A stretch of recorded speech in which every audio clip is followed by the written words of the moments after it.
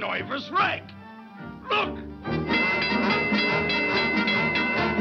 Please, chum, take it easy. Lay off the noise, huh? Cause if I hear one more sound, I'm gonna skin you alive. Get it?